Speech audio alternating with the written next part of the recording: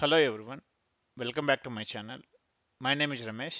In today's session, we will discuss about wait, notify and notify all methods declared in thread class or object class. So okay, let's this is one of the tricky and important entry question. Let's check it in which class these three methods are declared. First of all, let's check the purpose of these three methods before we just go and check like you know where these methods are declared. Wait method tells the current thread to release the lock and go to sleep until some other thread enters the same monitor and calls notify method. And notify method is used, it wakes up single thread that is waiting on the object's monitor.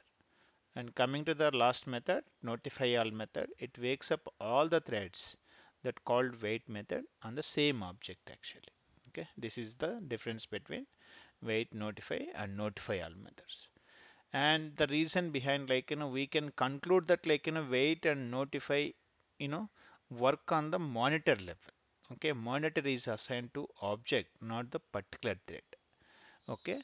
Actually these methods work under monitors level not the like like you know so in the thread level actually. Okay?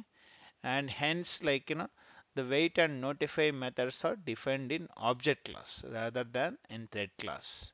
Because these methods will work under monitors level which are like in an object class hence these like you know methods are declared at you know object level not to any specific you know, thread level actually Hence, wait and notify methods are defined in the object class rather than the thread class.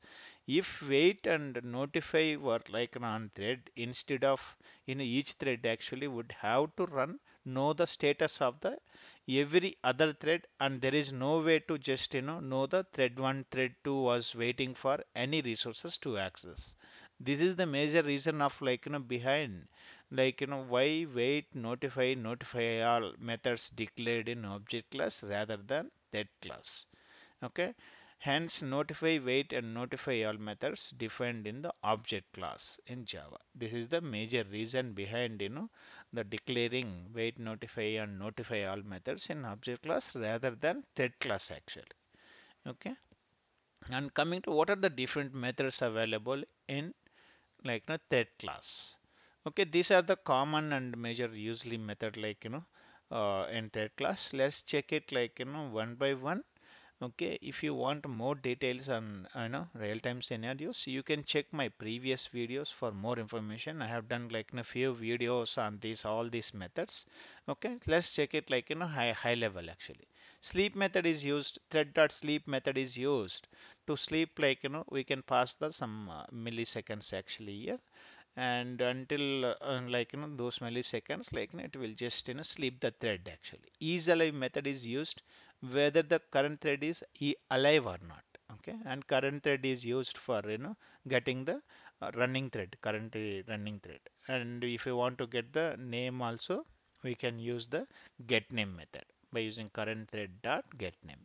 Interrupt method is used to stop the thread for some time actually okay? And it will be interrupted okay and okay, yield method is used okay? Just to give the priority to same priority threads and just you know the current thread will stop for some time until or unless like you know so the same priority threads will run and then the current threads will run actually. You can also refer my previous videos okay about yield method also. And coming to the start method thread dot start method we can use it. It will create a new thread and just you know run the run method actually. Okay? Run run is the like you know we can provide the all the body in the inside the run method. And coming to set name method we can also set the name actually by using set name method. And if you want to get the name of you know the set method and we can also get the name by using this method. Set priority and get priority. And these methods are used to set the priority of current thread and get the priority. If you want you can refer my previous videos about like you know the minimum and maximum and average priority. And minimum priority is 1 actually and maximum priority is 10 and average priority which is default priority is 5 actually okay? And based on the highest priority like you know the threads will take the I mean priority and start running. And join method is used. It will stop the current thread and just you know until the other threads finish and the current thread will not run actually okay? If we use join method okay? And set daemon method is used okay? If you want to set the method i mean uh, a thread actually daemon. Daemon is a low priority thread which will complete like you know until or unless all threads finish right? This the daemon thread is a low priority thread. If you want you can just refer my previous video about this one how to set and get and you know check the daemon thread and and is daemon method is used to check like you know whether the uh, I mean current thread is daemon or not. By using this method like you know we can verify it. And there are few more methods also there.